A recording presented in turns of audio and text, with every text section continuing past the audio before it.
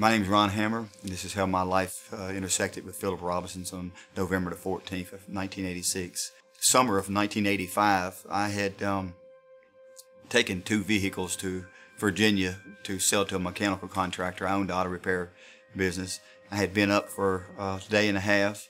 Um, I had went to a um, a car sale. I had a few vehicles I was selling, and um, a local dealer there had introduced me to crystal meth. I was real tired. I had a court appointment the next day, and um, he had given me some to put in a, a Mountain Dew, and um, I drink it. And that night, um, I stayed awake all night. Went to court the next day, and, and unrealizing the next day I was addicted because I went by his um, dealership and I wanted to purchase more. And um, day after day, I start doing more and more and more, and I, I, I got a severe addiction problem. When you have addiction problem, um, I guess if it's alcohol or anything, when you start running low, you first thing you think of, you've got to get more. On um, November the 14th, on a Friday after, uh, right around a little after lunch, I came in contact. I had been searching for some meth. I was about out. But um, a long story short, I, I'd met this guy over at a bar and grill next door to, um, I'd went over for lunch. And um, he was sitting over for uh, um, a then brother-in-law of mine, ex-brother-in-law now. And um, they had met.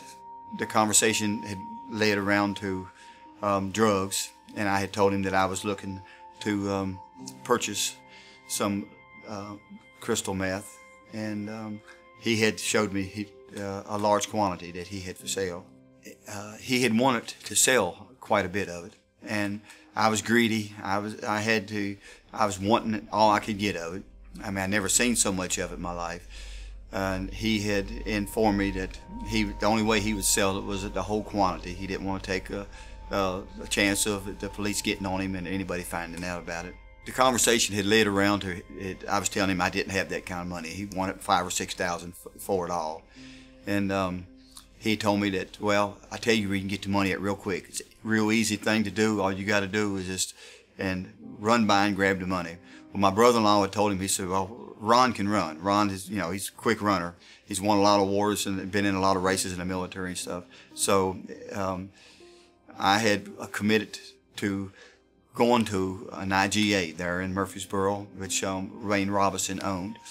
And I had never met uh, Mr. Robinson, Wayne Robinson, before. Didn't know him. I never had laid eyes on him, as I know. But um, we went there and um, encountered Mr. Robinson coming um, out of his car. And um, it was a little quick argument who was going to do what. I ultimately grabbed a pistol off the seat and ran up to Mr. Robinson and told him, give me the money. And it, um, it just went, it went wrong from there. Um, it seemed like time stopped for me. He, uh, he must have known I was, that I was drinking and I was drunk and, and, um, I tried to grab the money, take the money from him. We got in a, a, a little tussling match. He tried to grab the gun, and uh, the gun went off, and it took his life. I killed him. Um, I didn't know what to do. I, I, I knelt down beside of him, and I wanted to stay there with with your dad. But um, the coward in me, I jumped up and ran. I, I, was so scared. I don't remember grabbing the money. I took the money. Also, I got in the vehicle that we had um, come there in, and we left. And um, the vehicle quit down the road. I jumped out and ran. And um, of course, um, I was extremely scared, really scared about what was going to take place. And um, I went to the police station that night and I found out that, that um, Wayne Robinson had passed away. And um,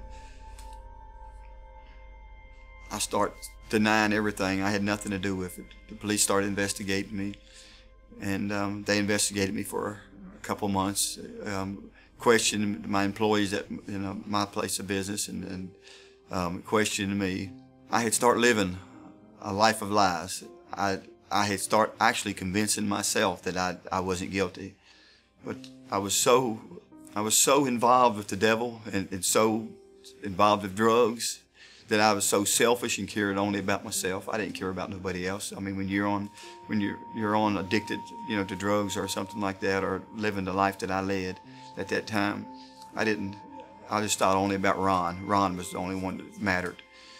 I guess around January, um, one day while writing the estimate for an elderly lady, um, about six or eight police officers just came upon me out of nowhere, pointing their pistols, told me to get on the ground, that I was uh, that I was under arrest for first degree murder.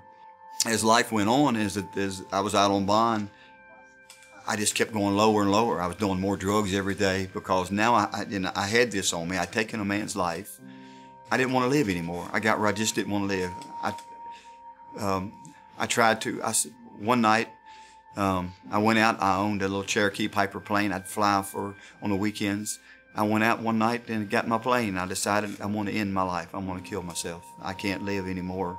And I'm constantly praying to God, asking God, and I'm blaming God the whole time. Why'd you do this? Why'd you let the, the, the gun go off, God? It, was, it, it wasn't even supposed to be a, a round in the chamber. There was never a round in the chamber. Where did the round come from? How did the gun go off? It was, you know, there was no way the gun could go off. And I'm not blaming Ron. I'm blaming God. So I climbed up to about 5,000 feet and there was a bridge going over uh, Percy Priest Lake, and um, I thought I'm gonna I'm gonna fly in that bridge. I shot that plane out of air over 200 knots. It was the plane that I had never been that fast. It had dove. I dove straight for the bridge, and I just I just closed my eyes and, and pushed the yoke down. And a few minutes later, it's like it was like I had been sleeping and I woke up. The plane was in a steady climb in a in in a kind of a semi stall. I had woke up. I don't know how I missed the bridge. The bridge was behind me uh, half a mile before I woke up. I didn't. I couldn't kill myself. I, I thought I could. I thought I, I meant to. And I thought I had all the control to do it, but the plane didn't hit the bridge. That wasn't the only time I tried to. I tried to put a 30-06 to my chest. I reached down, pulled the trigger one time, sitting in my living room. I tried to take my life. 130 grain round in a, a 30 6, a hunting rifle I'd had. I was so so tore up. My wife was at work. I came home from work. I couldn't handle it. I done. I poured a whole ounce of cocaine and mixed with mixed with meth out on the table, and started just doing all I could do. I went and got the rifle and I sat down on the couch and I prayed to God, and uh, I pulled the trigger on the gun. It tore the back of my shirt out. It burnt my arm real bad. I couldn't hold my arm down for a long time, but it, I just broke down. I laid on the floor and I cried for hours, it seemed like. I had a Corvette that um, I had souped up and I'd grown up around fast cars. I'd built the engine. I had over, I had about 550 horse in the car. I decided that Saturday night that I was going to end my life for, for good this time. I went down, I, I remember driving my truck down and, and, getting the, the vet off my front lot there. I had where I had it out on the front of the car lot for sale. I had it, and um, I got in it and there was there was a, a big concrete barrier where they were doing road construction down at the uh, Nissan plant as you entered the Nissan plant, and it was only eight or nine foot wide, and there was flashing signs telling you to yield. And I thought I'm going to hit that barrier. I'd been through there before, and I thought there's no way that I could ever, you know, I could ever live if I just if I could come through here. I pointed that car down that two mile stretch, and the car had 160 on it. I buried the speedometer over 160, and I remember just shut my eyes and screaming to God. I don't remember what I was screaming. I was just screaming and crying. But um, I went through that little seven, or eight or nine foot area and never touched it. And I was traveling over 160 mile an hour, and something a, NASCAR driver probably couldn't. I couldn't have been driving the car because I had just turned the wheel loose. But I woke up just again. It was like you take a, a, a camera and take a shot, a flash, and you, you're blinded for a minute and then when I come out at the blind spot, I was slowed down to about, and the car had cut completely off. And I'd slowed down about 60, 70 mile an hour, and the car was just dying. And it was so slow, I couldn't even hurt myself in it. It was just like the car had shut off, and it had dri driven itself through. But I couldn't end my life, and I wanted it so bad. I had no reason to live.